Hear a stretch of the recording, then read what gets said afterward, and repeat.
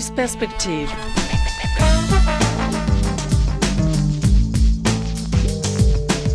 Welcome to this edition of Paris Perspective with me, David Coffey. Well, this month marks the 40th anniversary of France's abolition of the death penalty. In October 1981, France struck capital punishment from its statute book. So, to look at this momentous occasion and have a look back at the last 40 years since the abolition of the death penalty here in France, I'm joined by Amnesty International's president here in France, Cécile Coudriou. Cécile, you're very welcome to the programme today.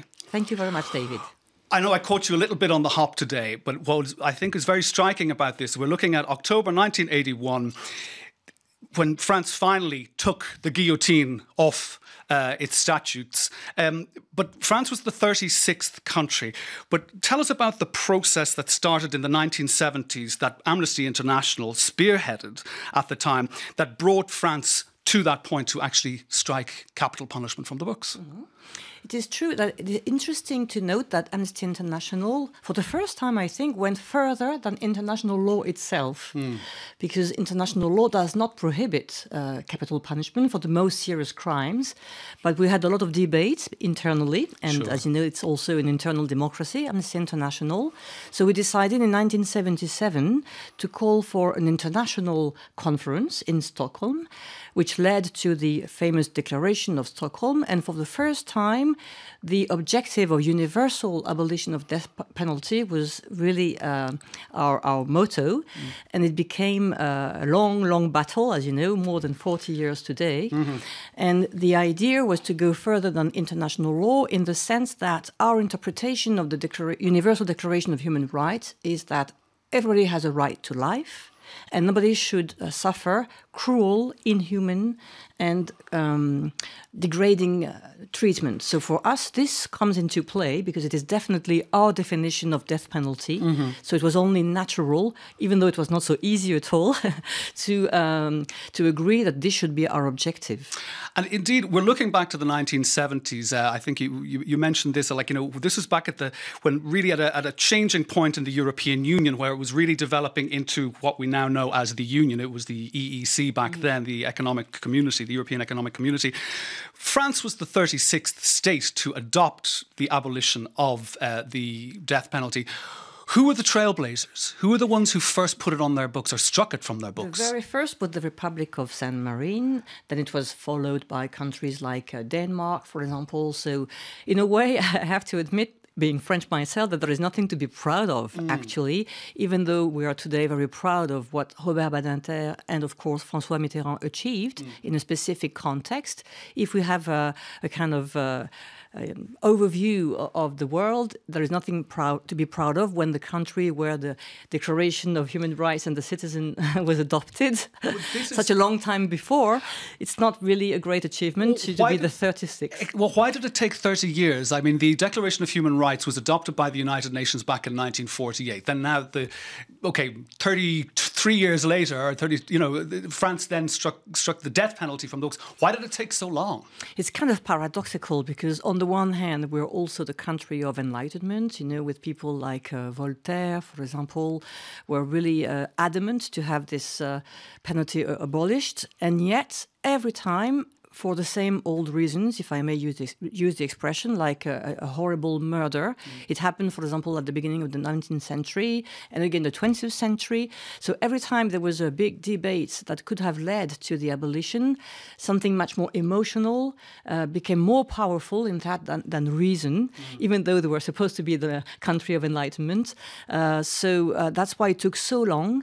And of course, we have also to bear in mind the uh, influence of such authors as as uh, uh, Camus, Albert Camus, for example, uh, Victor Hugo before him, of course. So it is a kind of paradox that we have, on the one hand, a tradition, a very long tradition of abolitionists, mm-hmm. and on the other hand, um, a population that was deeply attached to a, to a punishment that is really in the spirit of an eye for an eye. Yes. So I don't know how much religion um, uh, took part, if you like, in in this. Uh, um, kind of uh, yeah an obstacle, if you like, for, for abolition. Yeah. But it is mainly, I guess, related to uh, terrible murders, especially when it is children Mm. after kidnapping, things like that. Usually, it is uh, the only answer that people have in mind or in their heart, I should say, revenge, much more than justice. Actually, a time to kill. It's Yeah, basically yeah. it's the the lust comes out. But uh, again, at the time, back in the nineteen early nineteen eighties, if I'm not wrong, I think two thirds of the French population were still very much in favour of it. Absolutely. So, what was the defining? What were the defining points and arguments that were made that actually swung that two thirds back? the, the, the usual arguments, like uh, the, the uh, illusion that it is going to deter other people from committing crimes, even though we have so many statistics today that prove the opposite. It has nothing to do, in fact, with the death uh, penalty, the uh, increase or decrease of a number of crimes. It is also a sense that if you want to find peace again, you need this kind of they will call that justice, but yes, for us again, it is revenge, so it is uh, definitely an illusion, and also the belief that it could protect society much more because when people are sentenced to jail, even though it could be 20 or 30 years, people are afraid that they will do it again when they are released. So it is an, another argument that, of course, Robert Badinter uh, tried to and succeeded in uh, uh, countering, saying that if these people, and he took two or three examples of people who had been sentenced to death because they had uh, committed horrendous crimes, if they were in jail, what kind of danger would they represent for society? So he tried to destroy one argument after the other. And because he could feel this kind of uh, emotional and unhealthy attachment to death penalty, his attitude was, I think, very clever because he tried to make this punishment as concrete, as real as possible, not only an abstract concept of punishment, but the reality of the blade. That's the metaphor he used, the, the sound of the blade cutting into a man who is still alive. And he said that to the jury. To each jury, he pointed at them saying, You are going to do this. So it was a form of responsibility that maybe some juries and some citizens were not even aware of. Well, it, it, it hit an emotional nerve at the right In a at the right time, the right yeah. place at the right time. Now, to play devil's advocate here, um, what in what are the arguments that are being put forward by, let's say, developed Western countries such as the United States in defence of keeping the death penalty?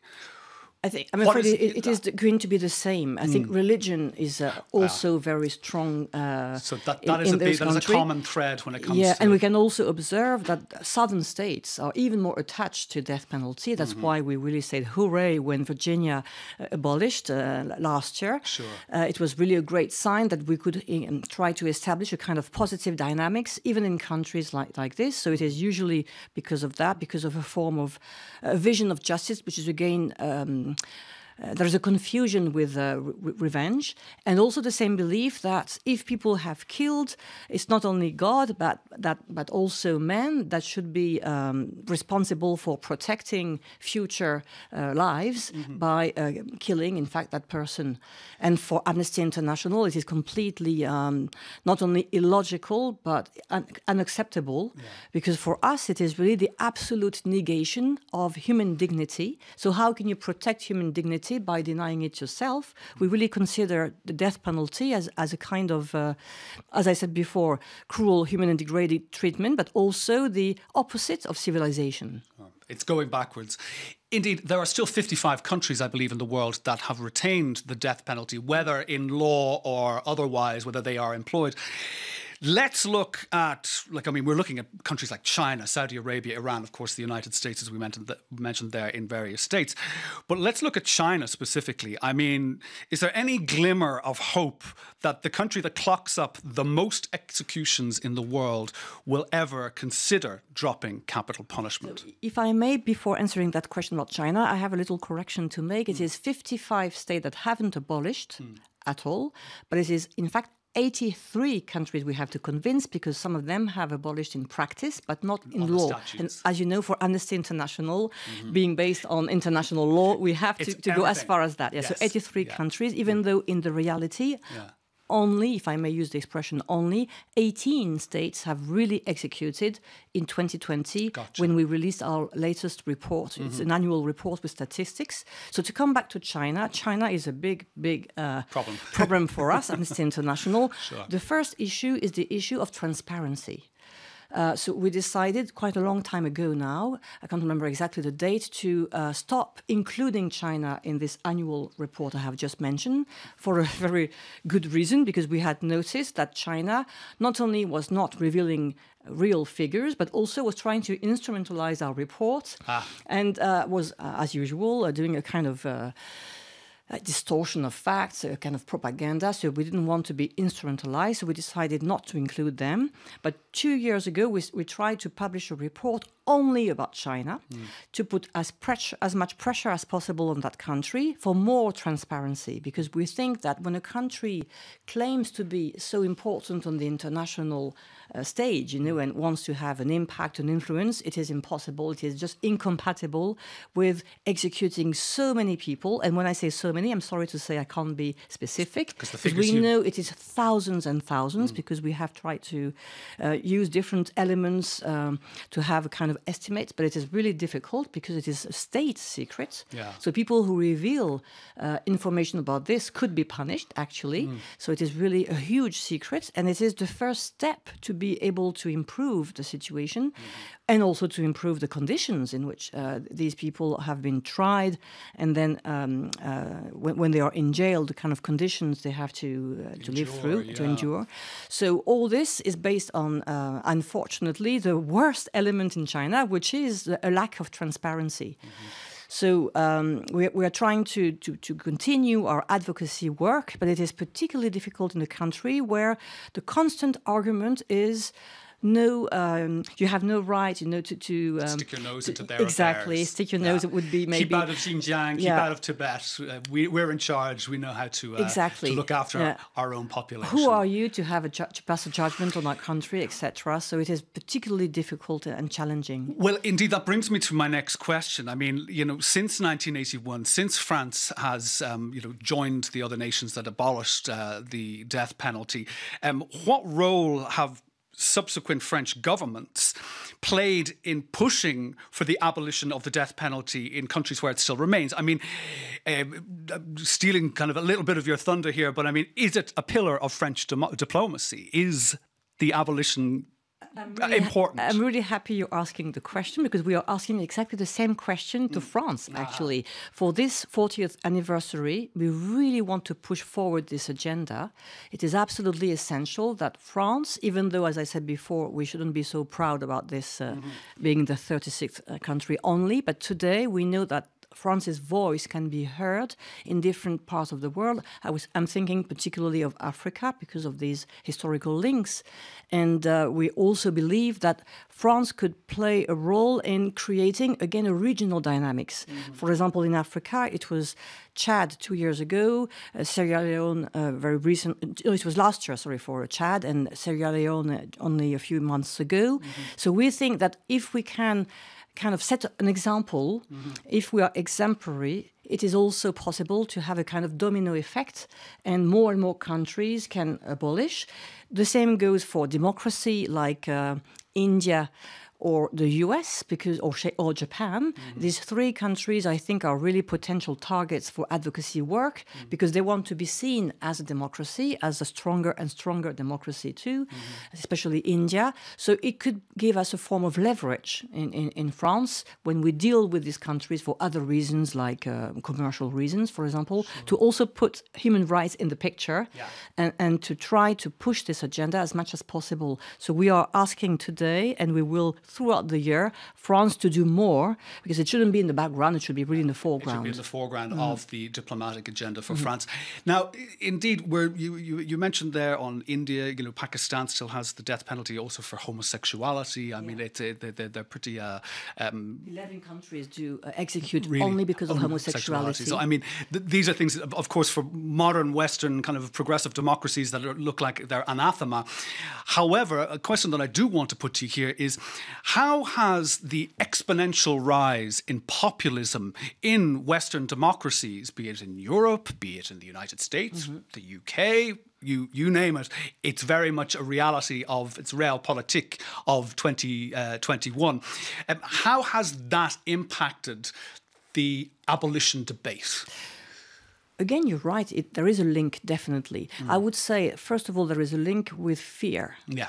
So populism, as you know, uh, even though we don't usually use that term, but everybody understands what we mean by populism, trying to play on emotion, trying to find fear, uh, deception, intimidation. Exactly, and it is not really a solution anyway. It is just an illusion of a solution that, that seems so simple that mm. people tend to adhere. Unfortunately, so populism and more particularly fear of terrorism, but also sometimes an instrumentalized fear of uh, migration, for example, that is associated to terrorism and to an increase in crime, but also crimes that happen, uh, unfortunately, even today uh, in, in democracies everywhere in the world. Mm -hmm. And also another um, element, which is not at all about Europe, but in Asia, for example, uh, I was thinking of the Philippines, but uh, Iran, etc.